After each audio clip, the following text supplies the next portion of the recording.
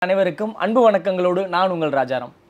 இன்னைக்கு நம்ம கூட இணைந்திருக்கிறது மதிப்பிற்கும் மரியாதைக்கும் உரிய கோவை ஸ்ரீ ஜோதிட பீடம் ஐயா திரு விஜய் பண்டித் அவர்கள் நம்மளோட இணைந்திருக்காங்க. நிறைய விஷயங்களை கேட்டு தெரிஞ்சுக்க போறோம். வணக்கம் சார் வணக்கங்க ஐயா. வணக்கம் வணக்கம். வணக்கம். வாழ்க வளமுடன் வாழ்க வளமுடன் வாழ்க வையகம். சொல்லுங்க ஐயா. சார் இன்னைக்கு திருவள்ளுவர் முதற்கொண்டு நம்ம எடுத்துட்டோம்னா அவருடைய திருக்குறள் கூட உலகின் ஒவ்வொரு மொழிகளை தாண்டி திருக்குறளில் இன்னைக்கு ஜோதிடமும் ஜாதகமும் நிறைய இணைஞ்சிருக்கு. அதில் ஒரு வரி ஒன்று வரும். யாவுல மற்றொன்றும் சூழ்வினை தான் தன் தரும் அப்படின்னு சொல்லிட்டு ஒரு குரல் முடியும். அது என்னன்னா நம்மளுடைய ஜாதகமும் நம்மளுடைய ராசி லக்னம் இதெல்லாம் சேர்ந்து நம்மளுடைய ஊழ் வினைகள் நம்மளுடைய முன்னோர் வினைகள் இதெல்லாமே சேர்ந்தும் திருக்குறளில் கூட தன்னுடைய வினைகள் இருக்கும். திருக்குறளில் கூட ஜாதகம் இருக்கும். திருக்குறளில் கூட தன்னுடைய வாழ்க்கை நெறிய ஜாதகத்தோடு சேர்த்து பார்க்கக்கூடிய அந்த குரல் கூட திருவள்ளுவர் சொல்லியிருப்பார். அந்த மாதிரி இன்னைக்கு ஜாதகம் நிறைய இடங்களில் எல்லா விஷயங்களுமே நிறைஞ்சிருக்கு. அது நம்ம பிஸ்னஸாக இருக்கட்டும் நம்மளுடைய தொழில் நிறுவனம் அல்லது நம்மளுடைய வீடுகள் நடக்கிற பிரச்சனையில் முதற்கொண்டு மற்ற வெளிகள் வெளியிடங்கள் நடக்கிற பிரச்சனையில் முதற்கொண்டு ஜாதகம் இன்னைக்கு நிறைஞ்சிருக்கு. அந்த வகையில் முதல் கேள்வி என்னென்னா இன்னைக்கு ஒரு பெரிய நிறுவனம் பிரம்மாண்டமான நிறுவனம் சென்னையிலேயோ இல்லை வேறு இடங்களையோ செயல்பட்டுக்கிட்டு இருக்கும்போது அங்கே சாதாரண ஒரு சின்ன தீ விபத்து நடந்துச்சு அப்படின்னா அது ஒரு பெரிய விஷயமா பரப்பப்படுது. அது மட்டும் இல்லாமல் வீடுகளில் தீப்பிடிச்சு எரிஞ்சாலும் அது ஒரு பெரிய விஷயமா பார்க்கப்படுது. அந்த விஷயம் தீங்கு விளைவிக்கும் அப்படின்னு நிறைய பேர் நம்புறாங்க. அதை பற்றி நீங்கள் என்ன நினைக்கிறீங்க? ஜோதிடம் சார்ந்து கேட்குறீங்களா அதாவது அவங்கவுங்க ஜாதகத்தில் வந்து இந்த செவ்வாய் சூரியன் காம்பினேஷன் சனியுடன் தொடர்பு கொள்ளக்கூடிய ஜாதக அமைவுகளில் சனிங்கிறது தொழில் ஸ்தானம். செவ்வாய்ங்கிறது ஆக்சுவலாக வந்து கட் கன்ஸ்ட்ரக்ஷன் கட்டடம் அது சம்மந்தமான ஒரு விஷயம். சூரியங்கிறது நிர்வாகம். இந்த செவ்வாய் சூரியன் தான் தீ விபத்துக்கு காரணமான கிரகமாகுது. சனியுடன் சம்மந்தப்படும் பொழுது மிகப்பெரிய ஒரு கோர விபத்துகள் ஏற்படுது. இப்போ ச ஒரு கடந்த ஒரு நாலஞ்சு வருஷத்துக்கு முன்னாடி கூட நம்ம சென்னையில் இங்கே சென்னை சில்க்ஸ் நிறுவனம் வந்து ஒரு மிகப்பெரிய ஒரு தீ விபத்தை அடைஞ்சது. அது மாதிரி நிறைய நிறுவனங்கள் நடந்திருக்கு. வீடுகள்லையும் தீப்பிடிச்சு எரிஞ்சிருக்கு. என்னை பொறுத்தவரை அந்த மாதிரி ஒரு மிகப்பெரிய ஒரு தீ விபத்து ஏற்பட்டுருச்சுன்னா அந்த நிறுவனம் பெருசாக டெவலப் ஆகுது. தீ விபத்து ஏற்பட்டால் நிறுவனம் ஆமாம் எந்த வீட்டில் ஒரு வீட்டில் ஃபயர் ஆகுதோ அந்த வீடு டெவலப் ஆயிடும் ஏன்னா உள்ள அக்னி தேவன் வந்து எல்லாத்தையும் இருக்கிற கர்மாலாம் அழிச்சிட்டு போயிடுறாரு அவ்வளோதான் விஷயம். அப்போ உதாரணமாக சென்னை சில்ஸ் அவங்க என்ன கிளையாக போயிட்டாங்க? அதுக்கப்புறம் எத்தனை கிளைகள் துவங்கிட்டாங்க? எவ்வளோ பெரிய லெவலுக்கு அவங்க போயிட்டாங்க? எந்த நிறுவனத்தில் தீப்பிடிச்சு எரியுதோ எந்த நிறுவனத்தில் அந்த அந்த ஒரு மிகப்பெரிய ஒரு விபத்து சந்திக்கிறார்களோ அந்த நிறுவனம் பெருசாக டெவலப் ஆகும். இது ஒரு சூட்சமமான ஒரு விஷயம் இது. அதுக்காக போய் கொளுத்தன அவசியம் இல்லை. அது இயற்கையாக நடக்கணும். சரி இப்போ அது வீட்லேயுமே நடந்துச்சு அப்படின்னா? அந்த குடும்பம் டெவலப் ஆகும். ஏன்னா உள்ள அக்னி தேவன் வந்து உள்ள ஃபார்ம் ஆயிடுறாரு உள்ள. அது இருக்கிற கர்மாலாம் அடிச்சு முடிச்சுட்டு போயிடும் இப்போ அதுக்கான பரிகாரம் இப்போ ஒரு இடத்துல தீ விபத்து ஏற்பட்டுருச்சு அதுக்கான பரிகாரம்னு அவங்க தேடுவாங்கல்ல? அது தேவையே இல்லை. பரிகாரமே தேவையில்லைன்னு சொல்றீங்க. ஆமாங்க ஊரே ஊரே வேடிக்கை வைக்குதா இல்லையா? எல்லா தோசமும் அடிபட்டு போயிருது அவ்வளோதான் மேட்ரு ஊரே தீப்பிடிச்சு எரிஞ்சு ஒரு ஒரு இடத்துல பெரிய ஃபயர் ஆகுதுன்னா ஊரே வேடிக்கை பார்க்குமா இல்லையா. அத்தனை திஷ்டி தோசமும் போயிடுது அது. உதாரணமாக எங்களுடைய ரிலேட்டிவ் எங்கள் மாமா ஒருத்தர் நம்ம தென் மாவட்ட பகுதிகளில் பலகார சீட்டெல்லாம் நடத்துவாங்க. ஒரு முப்பது வருஷத்துக்கு முன்னாடி. அவர் இந்த தீபாவளி சீட்டு நடத்துவாங்க தெரியுங்களா? வார வாரம் தவணை வசூல் பண்ணி. அந் இப்போல்லாம் இன்றைக்கி ஸ்வீட் ஸ்டால் இவ்வளோ கடைகள்லாம் நாற்பது வருஷத்துக்கு முன்னாடி கிடையாது. இப்போ எனக்கு வயசு இப்போ 52 வயசு. ஒரு முப்பத்தஞ்சு வருஷத்துக்கு முன்னாடி இவ்வளோ உங்களுக்கு ஸ்வீட் ஸ்டால் நிறுவனங்கள்லாம் அவ்வளவுலாம் கிடையாது. எனக்கு தெரிஞ்சு லட்டு பூந்தி இந்த மாதிரி தான் இருக்கும். இப்போ எத்தனை வெரைட்டிஸ் ஒரு ஸ்வீட்டில் அரிய அப்பா அன்றைக்கெல்லாம் இவ்வளோ ஸ்வீட்லாம் கிடையாது. நிறையா அவங்க அந்த அதனால் அந்த ஏழை எளிய மக்கள்லாம் அந்த சேர்ந்து இந்த தவணை மாதிரி சேர்ந்து சீட்டு மாதிரி பிடிப்பாங்க. அதை அவர் பிடிச்சி என்ன பண்ணுறாங்க வீட்டில் பலகாரம் போட்டுக்கிட்டு இருக்காங்க. நிறைய மூங்கில் கூடைகளில் இந்த மிச்சரை தயாரித்து வச்சுருக்குறாங்க. மிக்சர் சாப்பிட்ற மிக்சரை. அந்த மிக்சர் கூட ஃபயராக எரியுது. ஒரு கூட ஃபயராக எரிஞ்சு அப்படியே எல்லாம் பிரிஞ்சு டோட்டல் வீடே ஃபயர் ஆயிருச்சு. அதுக்கப்புறம் அவர் பெரிய தொழில் அதிபரானார் அவர். அதுக்கப்புறம் அதுக்கப்புறம் பார்த்தீங்கன்னா அவர் கிட்டத்தட்ட ஒரு டவுன் பஸ் என்ன டிரான்ஸ்போர்ட் என்ன போர்வெல் லாரி என்ன அவருடைய லெவலே வேறு மாதிரி போயிடுச்சு எல்லா பொலிட்டீஷியன்ஸுடைய பெரிய நெட்வொர்க் தொடர்பாயிட்டார் பெரிய பிஸ்னஸ் மேனார் ஆனார் அதுக்கு முன்னாடி கஷ்டப்பட்டுக்கிட்டு இருந்தாங்க. அந்த சீட்டு நடத்துறது அப்புறம் சாதாரண தொழில்கள் செஞ்சுக்கிட்டு வண்டி ஓட்டிக்கிட்டு இருந்தார். இது ஒரு உதாரணமாக சொல்கிறேன் அதுக்கு பிறகு அவருடைய வளர்ச்சி பெரிய வளர்ச்சி. நான் பார்த்த வரைக்கும் ஃபயரான நிறுவனங்கள்லாம் பெரிய லெவலுக்கு டெவலப் ஆயிருக்காங்க. வேற தொழிலை மாற்றி டெவலப் ஆயிருவாங்க. தீ பட்டு எரிஞ்சிச்சு அப்படின்னா அக்னி வந்து புல்லாத்தையும் எழுதி ஒரு ஆள் முடி ஒரு ஆள் எல்லாத்தையும் என்ன பண்ணுறோம் ஒன்று தண்ணியில் விடுறோம் இல்லை நெருப்பில் போடுறோம் இல்லை நிலத்துல போடுறோம் இந்த மூணு விஷயந்தான் நடக்கும். ஆன்மா காற்றுல பிரியுது. பாடியை எரிக்கிறோம். ஆன்மா காற்றுல உள்ளே இருக்க உயிர் தத்துவம் காற்றுல பிரியுது. ஆன்மா என்ன பண்ணுறோம் ஒன்று மண்ணில் தொட்டி குழி தொட்டி புதைக்கிறோம். இல்லை நெருப்பு வைக்கிறோம். அப்போ இந்த இந்த அக்னி தேவன் வந்து ஒரு வீட்டுக்குள்ள பெரிய பிரவாகம் எடுத்து வரும் பொழுது அந்த எல்லா அவங்க பரம்பரை தோஷமே அடிபட்டு போயிடுது பரம்பரை சாபம் அத்தனை அடிபட்டு போயிடுது இவங்களுக்கு எந்த பரிகாரமும் தேவையே இல்லை. பெரிய லெவலில் அவங்க பிஸ்னஸ் பண்ணி பெரிய லெவலில் அவங்க டெவலப் ஆயிட்டாங்க. இது இது வந்து பெரிய ஒரு இந்த தீ விபத்து நடந்த நிறுவனங்களில் என்னை பொறுத்தவரை ஆய்வு பண்ணதில் பெரிய பெரிய டெவலப் ஆயிருக்கு. இப்போ சிவகாசி ஏரி ஏரி எடு- ஏரி எடுத்துக்கிட்டிங்கன்னா பட்டாசாலைகள் நிறைய இருக்குது எத்தனையோ தீ விபத்து துர்மரணங்கள்லாம் ஏற்படுது. ஆனாலும் திருப்பி திருப்பி அவங்க அந்த பட்டாசு துறையில் அவங்க வளர்ந்துட்டு தான் இருக்காங்க. ஆமா. ம். நீங்க சொன்ன நிறுவனமுமே திருப்பி திருப்பி நிறைய பிரான்ச்சஸ் ஓபன் பண்ணிட்டு அவங்க சென்னையில் இங்கே எவ்வளோ பெரிய ஃபயர் ஆச்சு? சென்னை சில்க்ஸ் நிறுவனம். சரியான ஃபயர் ஆச்சு. ஆனால் அதுக்கப்புறம் இன்றைக்கி அந்த நிறுவனம் எவ்வளோ பெரிய நிறுவனமாக இருக்கு பெரிய நிறுவனமாக ஆயிடுச்சுல்ல இது தோஷத்தை போக்குறதுன்னு வச்சுக்கோங்களேன். ஆனால் ஆக்சுவலாக இது இயற்கையாக நடக்கணும். இன்சூரன்ஸ் போட்டுட்டு ஃபயர் வச்சாங்கன்னா அது கேஸ் ஆகிடும் இது இயற்கையாக இருக்கணும். அது ரொம்ப ஒரு ஒரு அற்புதமான ஒரு விஷயம். பரவாயில்ல இந்த வயசில் திருக்குறளை திருக்குறளை வந்து ரொம்ப அழகாக எடுத்து கொண்டு வந்திருக்கீங்க. ரொம்ப ஆச்சரியமான ஒரு விஷயம். இல்லை எனக்கு அது தெரியாது. இது வரைக்கும் திருவள்ளுவர் திருக்குறளில் ஜோதிடத்தை பற்றி சொல்லியிருக்காருன்னு எனக்கு தெரியாது தெரியாதுன்னா தெரியாதுன்ற முன்னோர் செஞ்ச வினைகளையும் அதுல சம்மந்தப்படுத்தி சொல்லியிருக்காரு. அது அது இருக்கும். வினைகள்னு ஒன்று இருக்குது ஆனால் முன்னோர் சாபங்கிறது ஒன்று இல்லை. கண்டிப்பா கண்டிப்பா. பித்ரு சாபங்கிறது அது வந்து என்னை பொறுத்தவரை அதை நான் ஒத்துக்க மாட்டேன். அதை நம்புறவங்க நம்பட்டும். அது போய் நான் யாரும் பித்ரு சாபம் பிண்ட வைக்காதீங்க தர்ப்பணம் பண்ணாங்க நான் சொல்ல மாட்டேன். அது அவங்கவங்க இஷ்டம். என்னை பொறுத்தவரை இறந்தவர்கள் மறுபரப்பு எடுக்கிறார்கள். இறந்தவங்க மறுபரப்பு எடுத்துறாங்க யாருக்கு போய் பிண்ட வைக்கிறீங்க? கண்டிப்பா. இறக்குறவங்க மறுபரப்பு எடுத்து எடுத்துடுறாங்க. இப்போ உதாரணமாக நீங்கள் அந்த அறிமுகமாக போது சொன்னீங்க இல்லையா? இது மக்கள் முன்னாடி சொல்லிக்கிறேன். ஒரு பேட்டிகன்றவர் சாதாரணமான ஒரு குடும்பத்தை சேர்ந்தவர் அல்ல. இந்த இந்த இன்டர்வியூக்கு முன்னாடி அவர் அறிமுகப்படுத்தி கொண்டார். திருவாடுதுறை ராஜரத்னம் பிள்ளை ஐயா அவருடைய வாரிசு அவர். உங்கள் கூட உட்காந்து நான் பேசுறதுக்கு நான் பெருமைப்படுறேன். ஏன்னா உங்கள் தாத்தாவுடைய எங்கள் அப்பா தீவிர ரசிகர். எங்கள் அப்பா எங்கள் அப்பாவுக்கு வந்து உங்கள் தாத்தாவை ஐயா சக்கரவர்த்தின்னு தான் அவரை சொல்லுவாங்க. அவருடைய சிஷ்ய பிள்ளை தான் காரக்குறிச்சி அருணாசல ஐயா இவங்க ரெண்டு பேருக்கும் எங்கள் அப்பா தீவிர ரசிகர். எங்கள் அப்பா இராணுவத்தில் இருந்தாலும் அவருக்கு நாதசுர இசைன்னா அவருக்கு உயிர். எங்கே கச்சேரி நடந்தாலும் போயிடுவார் அவருடைய வாரிசோட நான் உட்காந்து பேசுறதுக்கு நான் பெருமை கொள்கிறேன் ரொம்ப நன்றி. ரொம்ப எனக்கு ரொம்ப பிடித்த ஒரு நாதஸ்வர வித்வான். அவர் பெரிய சாம்ராட்டு. எல்லாரும் சக்கரவர்த்தின்னு தான் அவரை சொல்லுவாங்க. இசை சக்கரவர்த்தி. அவருடைய வாரிசோட உட்காந்துருக்கிறது இந்த நொடியை இறைவன் கொடுத்த பாக்கியமாக கருதுறேன். எங்கள் அப்பா உண்மையிலேயே உங்கள் தாத்தாவுக்கு ரொம்ப தீவிர ரசிகர். அவரோட வாரிசோட நான் உட்காந்துருக்கேன் இது பெரிய எனக்கு ஒரு பெரிய அறிமுகத்தையும் தாண்டி சில இடங்கள்ல நம்மளுக்கான அந்த பதிவு ரெஜிஸ்ட்ரேஷன் அப்படின்னு சொல்லும்போது டிஎன்ஜி ராஜரத்னம் பிள்ளை அவர்களுடைய பேரன் அப்படின்னு சொல்லும்போது அந்த நமக்கு ஒரு எக்ஸ்ட்ரா எனக்கு நமக்கு வேற எந்த ஒரு அடைமொழியும் நமக்கு தேவையில்லை. இது ஒண்ணு போதும் அப்படின்னு மிகப்பெரிய விலாசம் இல்லையா? கண்டிப்பா. ஏங்க அவருடைய இசைக்கு மயங்காதவங்களே கிடையாது. எங்கள் அப்பா அவரை பற்றி நிறைய சொல்லுவாங்க. அவங்க தாத்தாவை பற்றி ரொம்ப ரொம்ப ஒரு தீவிர நாதஸ்வர கலைஞருடைய அந்த அந்த நாதஸ்வர கலையை எங்கள் அப்பா ரொம்ப விரும்பி விரும்பியவர். ரொம்ப ரொம்ப அது மட்டும் இல்லாமல் எங்கள் தகப்பனார் கூட நெருங்கியவங்க எல்லாருமே நிறைய நாதஸ்வர கலைஞர்கள். நிறைய பேர் நாதஸ்வர கலைஞர்கள். எங்கள் அப்பாவுக்கு கர்நாடக சங்கீதம் நல்லா தெரியும். இந்த ராகம்னு அக்யூரஸியாக சொல்லுவார். ஆனால் அவர் படிக்கலை. அது பாருங்க நான் எனக்கு அந்த ஆசை எனக்கு இருந்தது. கர்நாடிக் கர்நாடிக் படிக்கணும்னு. ஆனால் என் பையனை படிக்க வச்சேன். நம்ம ஆதனில் நான் இசையை பற்றி நான் நோய் தீர்க்கும் ராகங்கள்னே பேசியிருக்கேன். மத் மத்தியமாவதி ராகம்னே அதை பற்றி நிறைய பேசியிருக்கிறேன். ஆனால் என்னமோ அது நானும் என்னை அறியாமலேயே ஐயாவுடைய அந்த இசை எனக்கு நாதசுர இசை பிடிக்கும். பொதுவாக நாதசுர இசை கேட்பவர்களுக்கு ஈசனுடைய அருள் முழு முழுவதும் கிடைக்கும். கிடைக்கும்னு சொல்லுவாங்க கண்டிப்பா. அது வந்து ஆச்சா மரம்னு சொல்லக்கூடிய மரத்தில் தயாரிக்கக்கூடிய நாதஸ்வரம். நாதஸ்வரம். அதில் வந்து இந்த சீவாளியை வந்து உங்கள் தாத்தா டெஸ்ட் பண்ணாமல் எடுத்தோடனே அப்படி வாசிச்சுப்பாரான் மற்றவங்கள அப்படி வாயில் அந்த இதை சொருகி அதை டெஸ்ட் பண்ணுவாங்க. டெஸ்ட் பண்ணுவாங்க சிவா அந்த பி பின்னு சவுண்டு டெஸ்ட் பண்ணுவாங்க.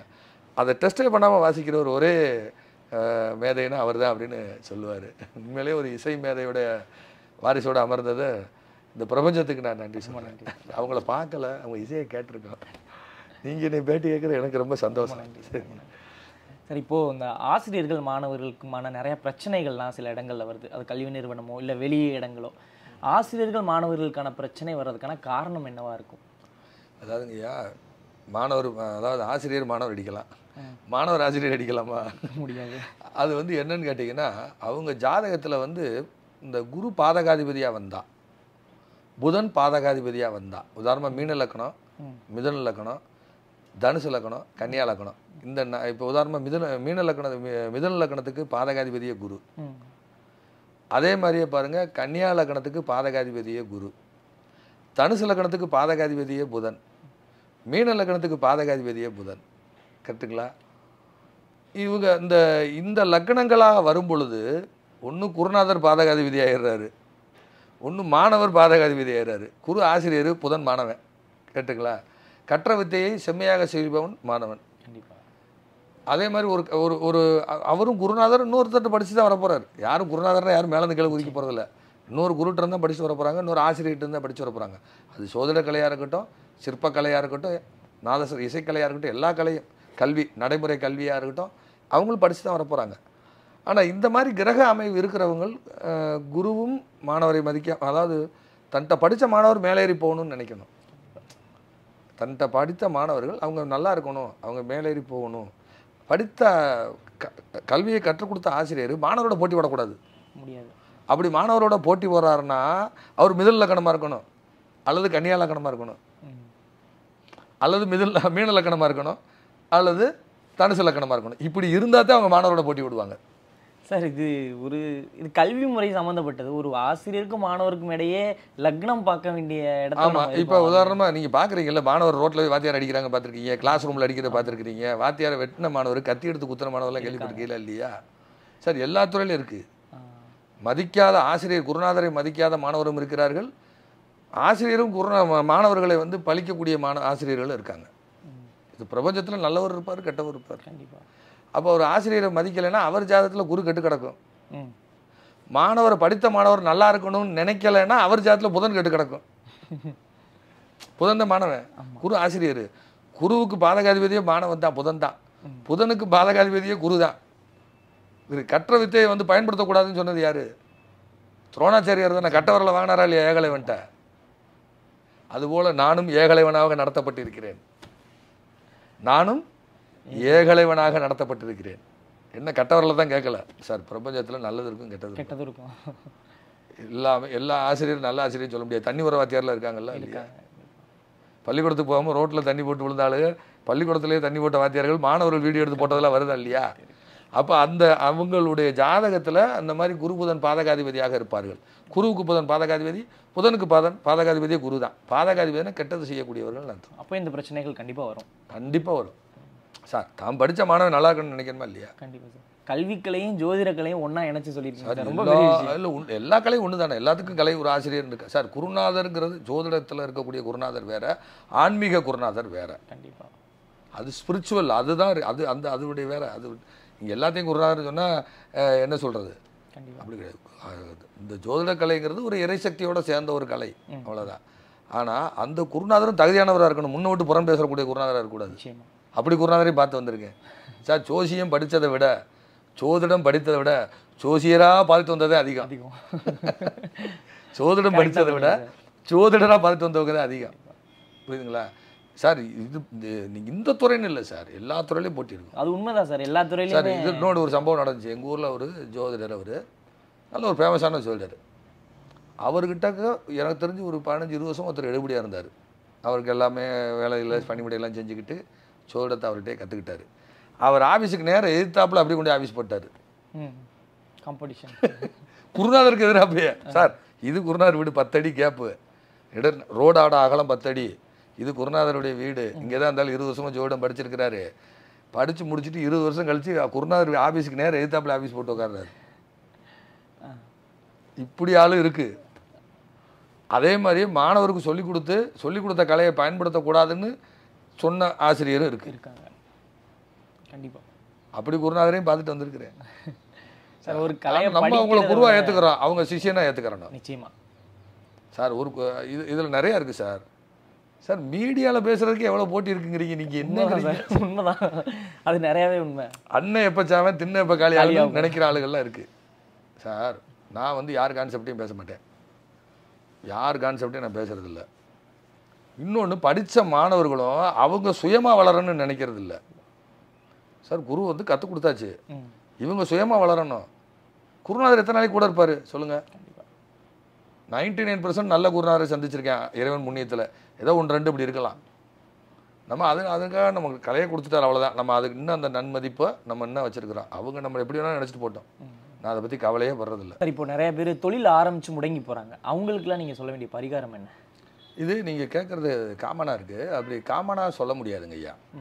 நம்ம ஏதாவது உதாரண ஜாதகம் தான் சொல்ல முடியும். இப்போ உதாரணமாக சொல்கிறதா இருந்தால் ஒரு ஜாதகத்தில் சனி வந்து சுக்கிரனுடைய நட்சத்திரத்தில் உட்காந்து சூரியனை தொடுது.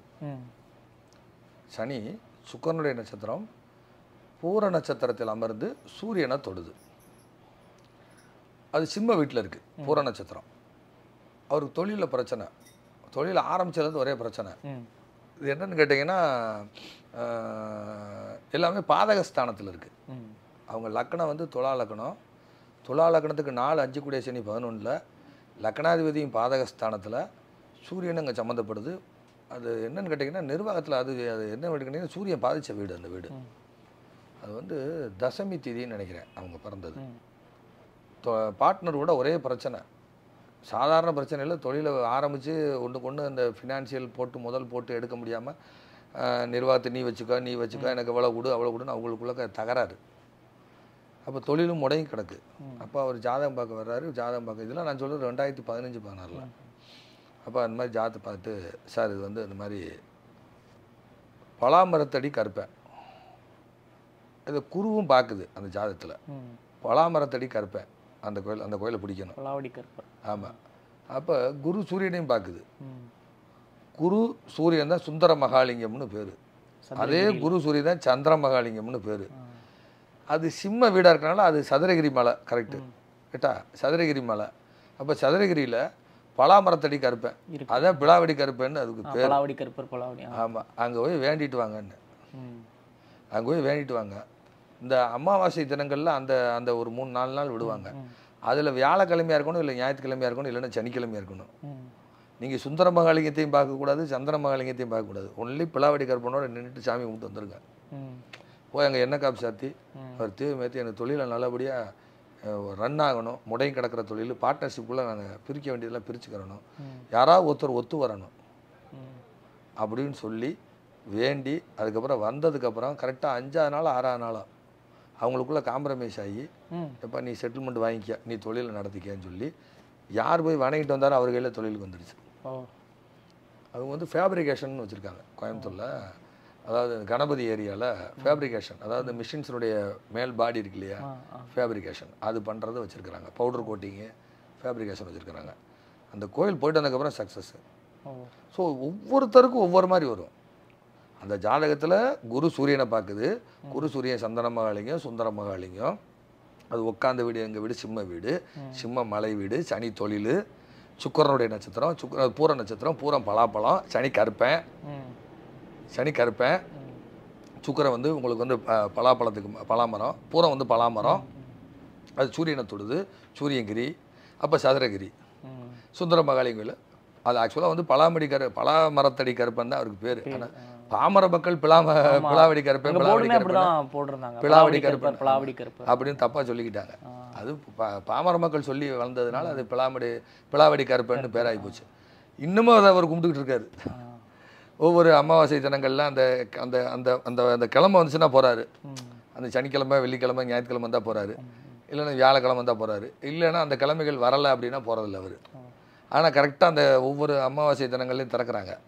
அதுகளுக்கு போய் விசேஷம் பண்ணுறாரு ஆடி அமாவாசைக்கு போய் பெருசாக செய்கிறாரு அங்கே போய் கடா வெட்டிலாம் சாமி கும்பிட்றாரு. மேல மலையில. ஆமாம் அதெல்லாம் பண்ணுறாரு அவர். ஆனால் நல்லா இருக்காரு டாப்பில் இருக்காரு. அவர் என்ன சொல்லி ஏன் இப்படி சொன்னீங்கன்னாரு? ஐயா பூரா வந்து பலாமரம். ம். சூரியன் மரத்துக்கான கிரகம் சூரியன் மலைக்கான கிரகம். அதையே சனி இருக்குது சனி தொழில் சனி கருப்பை. அப்போ பிளாமரத்தடி பலாமர கருப்படி சுந்தர மகாலிங்கத்தில் கூடியவரை தான் நீங்கள் கும்பிடணும். அப்படின்னு சொல்லி அவர் பிடிச்சி கும்பிட்டுக்கிட்டு இருக்காரு இன்னைக்கு வரைக்கும். அதை ஃபோட்டோ எடுத்து கடையில் கம்பெனியில் மாட்டி வச்சிருக்காரு. சார் நான் சொல்லும் பொழுது ஒரு இருபத்தஞ்சு பேர் இருந்த கம்பெனி க்ளோஸ் ஆகி இப்போ ஒரு கம்பெனியில் இரநூறு பேர் ஆ. இரநூறு பேர் வேலை பார்க்குறாங்க நான் சொன்னேன் லேபருக்கு சாப்பாடு கொடுத்து கொடுங்கன்னு சொல்லி லேபர்களுக்கெல்லாம் சாப்பாடு கொடுத்து கேண்டீன் வச்சு ஃப்ரீ சாப்பாடு போட்டு கொடுத்துக்கிட்டு இருக்காரு. ஓ. தொழில் ரன் ஆகி போயிட்டு இருக்கு ஸோ இந்த மாதிரி மாறுபடும். ஒருத்தருக்கு அதான் சொல்லல உதாரணமாக சொல்லிகிட்டே போகலாம். அவங்க ஜாதகத்தை வாங்கணும் இது எங்கே போகணும் ஏது பண்ணணுங்கிறது டக்கு டக்கு டக்குன்னு சொல்லலாம். அங்கே போகாமல் நிவர்த்தி ஆகாது. இது அந்த நேரம் வந்தா தான் இல்லைன்னா நானே இருபது நாள் முப்பது நாள் தள்ளி வச்சிருவேன் ஜாதகம். எனக்கு ஒன்றும் ஓடலைங்க. இப்படியே சொல்லிடுவேன். சார் எனக்கு ஒன்றும் ஓடலை. ஒரு இருபது நாள் டைம் கொடுங்கன்றேன். இல்லை பத்து நாள் டைம் கொடுங்க. லேட்டானாலும் அவங்களுக்கு கூப்பிட்டு சொல்கிறோம் அவங்களுமே பொறுமையா இருந்து அதை கேட்டு தான் சார் நம்ம இல்லைன்னா நம்ம நம்ம நான் அப்படி கேட்டுருவேன். சார் லேட் ஆகும் என்ன சார்னுவேன் இல்லை சார் நீங்கள் பரவாயில்ல சொல்லுங்கன்னுவாங்க. சரின்னு வெயிட் பண்ணி சொல்கிறேன் அப்படிலாம் இருக்குது சரி சார். ரொம்ப அருமையா நிறைய விஷயங்களுக்கு ரொம்ப விளக்கம் நிறைய கொடுத்தீங்க. சரிங்க. நம்ம கேட்குற கேள்விகளுக்கு ரொம்ப விளக்கங்கள் ரொம்ப ஆச்சரியமாகவும் ரொம்ப விறுவிறுப்பாகவும் போய்கிட்டு இருக்கக்கூடிய இந்த விஷயம். தொடர்ந்து நம்ம நிறைய விஷயங்கள் பேசுவோம். இதே மாதிரி இன்னொரு நிகழ்ச்சியில் உங்களை சந்திக்கிறோம். வணக்கம். நன்றிங்க. நன்றி. வணக்கம். வாழ்க வளமுடன். வாழ்க வளமுடன். வாழ்க வையகம்.